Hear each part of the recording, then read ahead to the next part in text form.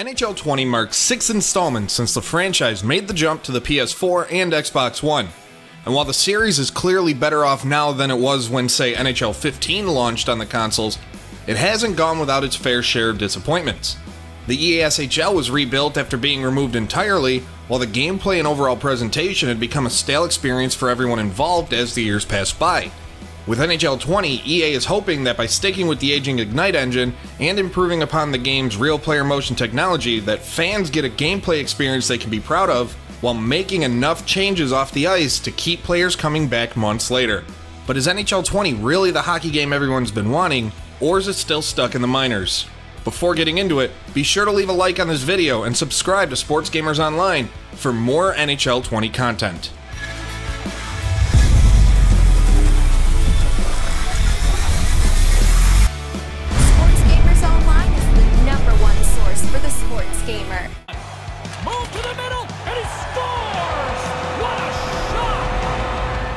Whenever a new sports title comes out, players will hear things during marketing like new and improved gameplay, or in the case of NHL 20, gameplay fueled by RPM tech. While many will look at that and think it's just another marketing ploy to try and get the casual gamer to jump on board, doesn't appear to be the case with this year's game. I can honestly say that I haven't played an NHL game as enjoyable as NHL 20 from a gameplay perspective since the skill stick was first introduced back with NHL 07. From skating to shooting, things just feel more polished. Depending on your skater's positioning, you may find yourself either fluttering a shot to the net or going for a quick backhand. In past games, you can get a bad position shot to come off the stick like you had just received a perfectly placed pass. That appears to be gone from NHL 20. That said, not everything is all sunshine and rainbows. There were times rather than go for the easier backhand shot, players would do a long spin and look for a forehand shot instead. Also, the backhands feel kind of overpowered at times, same with one timers to the blocker side of the goaltenders. And it seems like the meta for scoring on breakaways is a simple forehand to backhand move and shot. Now, with puck pickups, if a puck is around a player, they'll adjust accordingly to pick it up or battle with an opponent.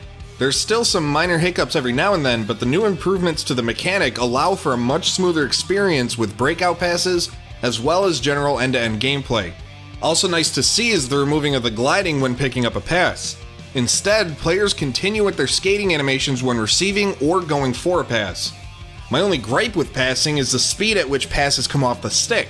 No matter what your rating is, it can feel like you're trying to pass the puck along a section of blacktop rather than on ice. And on top of the passing speed with gameplay, it feels a bit too easy to lay players out with big checks at times, while pulling off dekes can be downright impossible, even with some of the more highly rated players.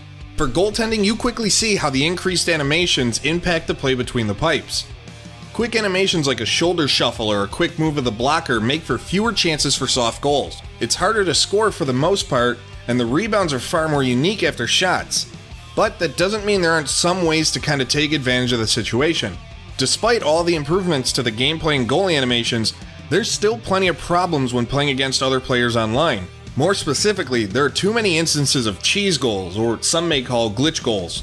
From starting in the corner then bursting across the front to easily beat the goaltender, to skating across in the slot from the goalie's glove to his blocker side, there's too much of a meta to playing online that still remains after years of the same complaints.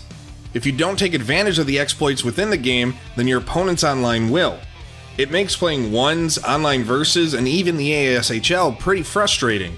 There are even still some small bugs like the helmet glitch that allows you to remove your player's helmet if you give a visor to a caged helmet. It may not impact gameplay at all, but it's small things like that that have remained in the game for years that show a lack of attention to detail. One of the biggest issues from NHL 19 was the figure skating done in order to keep possession of the puck using a combination of left trigger and A or L2 and X. In the hours spent with NHL 20, it's clear that EA has nerfed that exploit in a major way this year. Now, it still works every now and then, but don't anticipate it being the problem that it became last year. That is, unless a tuner's release that reverts a lot of the good done during development. Defensively, it feels like you're on a near level playing ground with offensive players, whether it be in a regular game or a solo controlled mode like the EASHL. I didn't notice much in the way of pucks seemingly warping through a defenseman's stick, rather, I was able to break up plays and eliminate offensive threats. Now, controlling the goaltender remains exactly the same as past years, but thanks to the additional goaltending animations, you cover the net in more ways, whether it be stick saves or pinching the puck near your shoulder blade. That said, it's still all about positioning. As long as you're square to the shooter, you're gonna make the save more often than not. Along with Ray Ferraro, I'm James Cybulski. Hi, everybody. Welcome to Washington, D.C. The crowd is hopping for this one. We'll send it down to ice level. Ray Ferraro between the benches. What are you seeing for tonight, Ray? One of the best new aspects of NHL 20 is the overhauled presentation. Gone is the NBC presentation, and in its place is an NHL 20 specific presentation that features new overlays, transitions, and a brand new commentary team.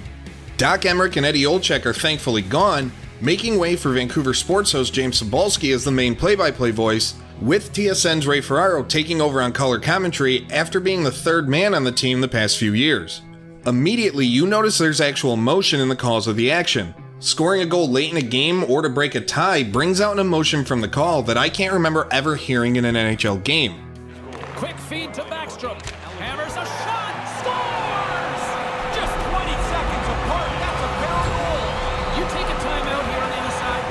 There are fewer repeated lines thanks to the extra time spent in recording, but that doesn't mean they're gone entirely. But hey, it's a video game. Repeated lines are bound to happen eventually, no matter how many hours are spent in the booth.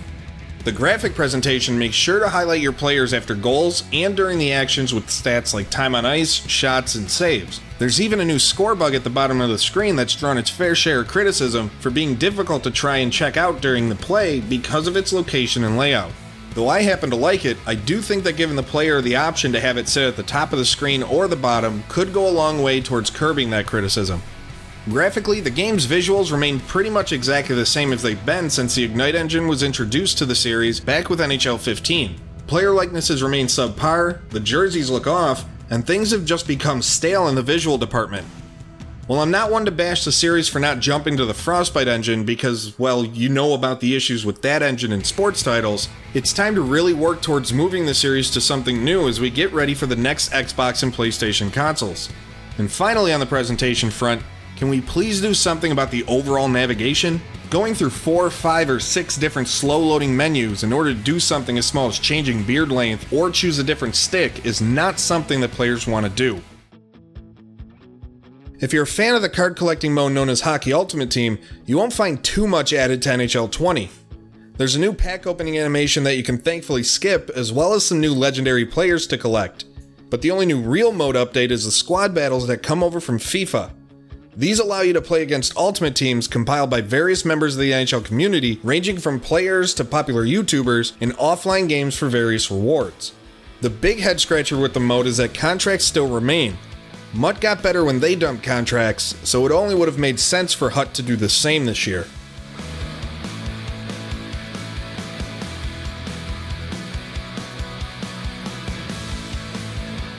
This may surprise a lot of you, but NHL 20's franchise mode is the clear cut best franchise mode in any of EA Sports' offerings. You can even go as far as saying that it only trails behind NBA 2K for the best franchise mode in sports games. But why is that? What makes it so good? For starters, nothing was removed from NHL 19's version of the mode. Instead, the mode saw a number of welcomed additions. The biggest addition comes in the form of the long desired coaching carousel. Players have to manage eight coaches, four in the NHL and four in the AHL, that each bring different things to the table within your organization. Each coach has their own traits regarding scheme and player types needed, and this can impact players currently on a roster or potential free agents and trade targets.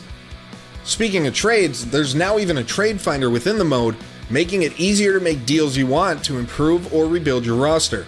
Still, though, there's no fun elements surrounding the game's trade deadline within the mode, which just really comes and goes. I mean, just give us the cell phones back, damn it! Now, the coaching carousel is great, but there is a problem with the system, and it's that all the coaches you hire have to be free agents. You can't hire a coach that's employed by another organization, which means you can't hire Dallas's AHL coach to become Buffalo's new head coach. Also, when you do hire a new coach, you need to rescout your target players to see if they'll fit in the new system. The morale system also returns with players and coaches coming to you for discussions on various topics, ranging from team performance to overall recommendations. The problem with this is that while you can view player morale at any time you want, you can't talk with your players or coaches until they come to you. Lastly, we don't see the league expand during your career like you may see in NBA 2K's franchise modes, meaning that if you don't choose expansion right off the bat, you're stuck with 31 teams in the NHL. Toronto's on the attack. Quick feed to Spezza. He scores! Well, not long after. Now, for as great as NHL 20's franchise mode is, Be a Pro is just as bad. Actually, it's worse than bad. It's boring. And if you don't think that being boring is worse than bad, look at games like South Park for the N64 and Deadly Premonition. These were games that were downright terrible, but they weren't boring in the slightest. I mean, Deadly Premonition, a game that was panned by so many outlets, is still getting a sequel. Anyway, Be a Pro remains pretty much exactly the same as it has been since the series made the jump to the PS4 and Xbox One. Now, I won't knock everything because there have been some changes over the years, like that skills tree that gives a false sense of an RPG that so many games seem to stick in to basically slow your development, and coach feedback that helps you figure out what you do well or poor. But it's really been nothing more than that over the last five years. If there's any mode in the series that needs a complete overhaul, it's Be a Pro. I just hope that we don't get what we got back with NHL 14 when we got the deeper live the life mode in the last year of the previous generation, only for it to not make the jump to the next set of consoles. The online hub known as World of Chel returns in NHL 20 with quite a bit remaining the same. The popular EASHL sees no changes whatsoever, same with the uninteresting NHL Pro Am. The other two modes within the World of Chel, NHL 1s and 3s, both see small improvements to add to the replayability factor of each. NHL 1s, which also gets a local NHL 1s Now mode that allows couch co op, introduces a battle royale element of sorts in the forms of NHL 1's Eliminator. This pits 81 players in a single elimination tournament, requiring you to win 4 straight games to be crowned champion. The Eliminator mode was also added to NHL 3s, where you can join with friends or go it alone to earn unlocks for your created player. Speaking of unlocks, they remain cosmetic only as your sticks, skates, and the like don't impact your ability on the ice. What does affect your ability is the player type you select, along with the various traits that remain the same from NHL 19. While custom attribute allocation doesn't appear to be destined for a comeback anytime soon, the player builds still feel a bit too restricting. If EA isn't going to re-implement the ability to build your player for the world of Chel exactly how you like, at least bring back a way to make them stand out more aside from the player traits. One thing that could be done is bringing back the ability for equipment to provide boosts to your attributes. Back in the earlier years of the ASHL, a player's stick curve would increase the wrist shot accuracy while reducing slap shot power. A certain skate could also increase agility or speed. Something, anything would help making players feel different on the ice without giving full attribute allocation back. Well, I guess that's that. That's that, and it's pretty clear, James, who had the upper hand. NHL 20 is a game that you'll either love or hate, and there's really no middle ground within this debate. The improvements to the gameplay and presentation make the on ice experience the best it's been since the games of the late 2000s, while off the ice, there's plenty to enjoy depending on what type of mode you prefer. Outside of some small omissions, franchise mode is as good as it gets, and HUT continues to be a solid mode for those into the collectible card game. On the other side of the coin, though, Be a Pro isn't even worth one game, while modes like Pro Am, Draft Champions, and Ones Now feel like wasted space. With the end of the current console generation fast approaching, one has to wonder where the NHL series goes from here because there's no doubt there are still plenty of questions left to be answered. For more NHL 20 and sports gaming content daily, subscribe to Sports Gamers Online and turn on your notifications to be alerted whenever a new video goes live, and visit our website sportsgamersonline.com. Talk.com.